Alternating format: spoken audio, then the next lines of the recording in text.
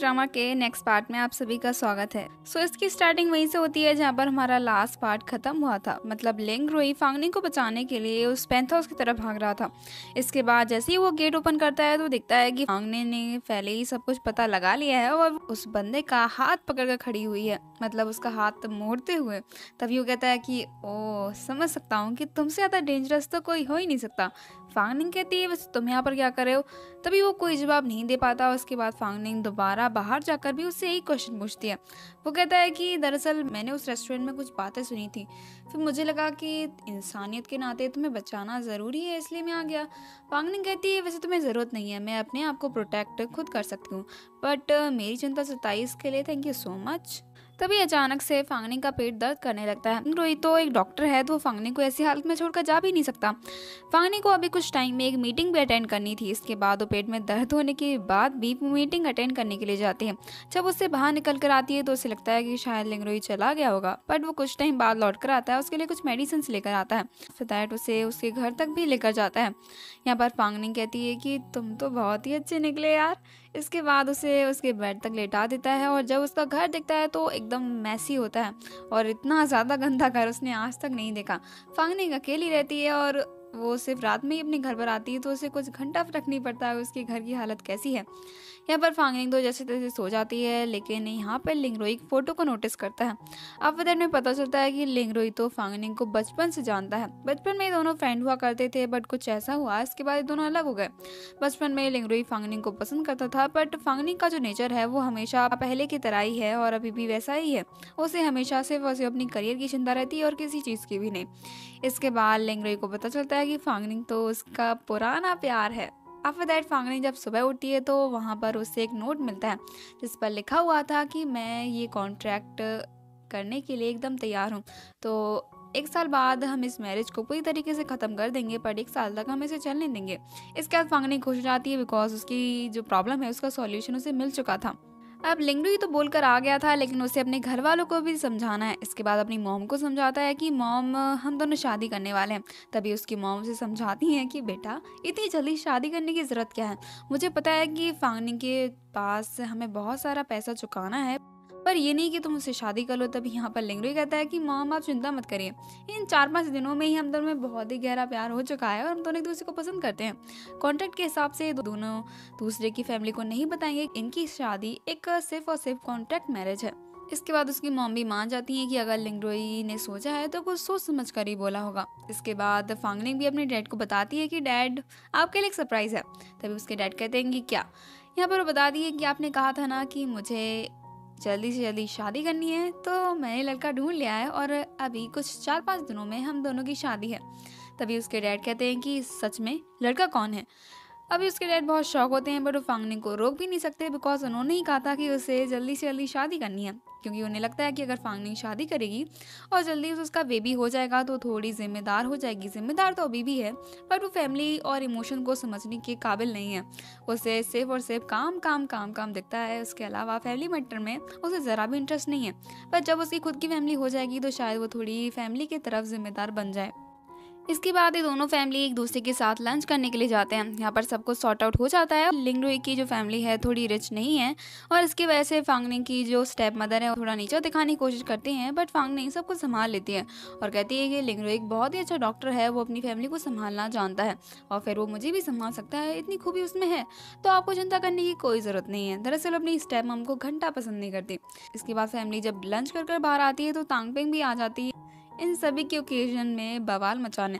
इसके बाद वो कहती है कि वो शादी को नहीं मानती और तुमने क्या समझ रखा है लिंगरुई को? वो तुमसे प्यार नहीं करता, ना ही वो तुमसे शादी करेगा। तभी यहाँ पर फांगनी कहती है तो छलने की ज़रूरत नहीं है। हम बात करें तो तांगपेंग को लिंगरुई पसंद आने लगा था और वो सोचती है कि अगर फांगनी से शादी कर सकती है तो उसे पीछे छोड़कर मैं से शादी कर लेती हूँ। उसे हमेशा हर बात पर फांगनिंग से कंपटीशन चाहिए था। इसके बाद यहाँ पर फांगनिंग लिंगरुई को किस कर लेती है पूरी फैमिली के सामने। और तांगपंग से कहती है, अब तुम्हें पता चल गया हो ना कि हम दोनों एक दूसरे से बहुत प्यार करते हैं। सो कबाब में हड्डी ना बनो, उसमें ही तुम्हारी भलाई है है ना? इसके बाद फैमिली मेंबर भी मान जाते हैं कि इनका रिलेशन दरअसल फेक नहीं है, सब कुछ रियल है। फांगनिंग के डैड लिंगरुई से अलग से मिलने के लिए जाते हैं बिकॉज़ फैमिली में वो बातें नहीं हो पाती हैं जो फांगनिंग के डैड को लिंगरुई से करनी है। इसके बाद वो कहते हैं कि, तुम्हें क्या पसंद है मेरी फांगनिंग के बारे में? तभी लिंगरुई बताता है कि, मैं दरअसल उसकी तारीफ़ तो कर सकता हूँ बट वो उतनी अच्छी नहीं है कि मैं उसकी तारीफ़ करूँ। वो बहुत ही बड़बोली है, कभी भी कुछ भी बोल देती है। उसमें इतना दिमाग नहीं है कि वो चीज़ों के बीच में फ़र्क समझ पाए कि फैमिली और बिज़नेस में काफ़ी अंतर है। हम फैमिली को बिज़नेस की तरह नहीं देख सकते। इसीलिए वो थोड़ी अजीब है बट मुझे लगता है कि हम दोनों एक दूसरे के लिए परफेक्ट रहेंगे। यहाँ पर फांगनिंग के डैड को ये सुनकर अच्छा लगता है कि चलो कोई तो फांगनिंग के बारे में सब कुछ जानता है मेरे अलावा। तभी वो मान जाते हैं कि लिंगरू से अच्छा लड़का फांगने को कभी नहीं मिल सकता, जो कि उसका हमेशा ख्याल रखे। पाँच दिनों के अंदर ही फांगनिंग और लिंगरुई की शादी की तैयारियाँ हो जाती हैं बिकॉज़ फांगनिंग को जल्दी से जल्दी शादी करनी थी। इसके बाद शादी में अब तांग पेंग कोई बवाल ना करे, वो तो हो ही नहीं सकता। वो आ जाती है और कहती है कि फांगनिंग मैं तुम्हें लिंगरुई से शादी नहीं करने दूँगी। ये नहीं हो सकता। इसके बाद वो फांगनिंग पर चलाने लगती है। इतने में ही हम अपने ड्रामे की सेकेंड फीमेल लीड सीयू को देखते हैं, जिसकी इस ड्रामा में एंट्री होती है। वो अभी यहाँ पर एक रिपोर्टर बन के आई थी, ताकि वो इस मैरिज के बारे में कुछ खुफिया जानकारी जान सके। बिकॉज़ अब इतनी बड़ी बिज़नेस वूमन की शादी हो रही है तो कोई तो बवाल होना चाहिए। इसके बाद यहाँ पर जब तांग पैंग बवाल करने की कोशिश करती है तो शिव उसे सबक सिखाती है, उसकी ड्रेस ही फाड़ देती है। इसके बाद तांग पैंग कुछ नहीं कर पाती, इतने में वो चलाने के लिए होती, इतने में उसके डैडा जाते हैं और कहते हैं कि, तांग पैंग, तुम्हें क्या कर रही हो? इतना बवाल करने की ज़रूरत क्या है? अब तांगपेंग के डैड, पांगने के डैड की कंपनी में काम करते हैं। भले ही वो बहुत ही बड़ी पोजीशन पे हैं, बट उनकी ज़िम्मेदारी है कि वो इस कंपनी को संभाले रखें। और अगर तांगपेंग ऐसा बवाल करेगी तो उनकी रेपुटेशन का क्या होगा? वो तो तांगपेंग ही जाने, बट वो समझती कुछ भी नहीं है।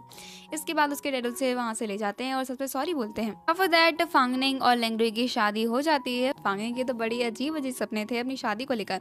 आफ्टर मैरिज ये दोनों होटल रूम में होते हैं, तभी फांगनिंग लेंगरुई को सड्यूस करने की कोशिश करती है।